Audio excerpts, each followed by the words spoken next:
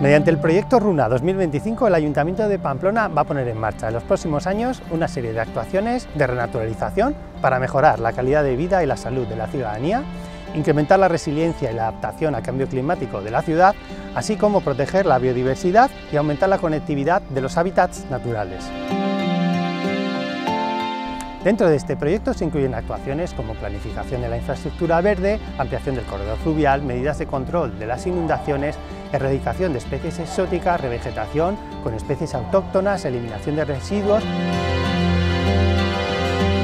Todas estas actuaciones están en línea con el modelo de planificación fluvial diseñado por el Ayuntamiento e incluido como proyecto estratégico en la Agenda Urbana Pamplona 2030.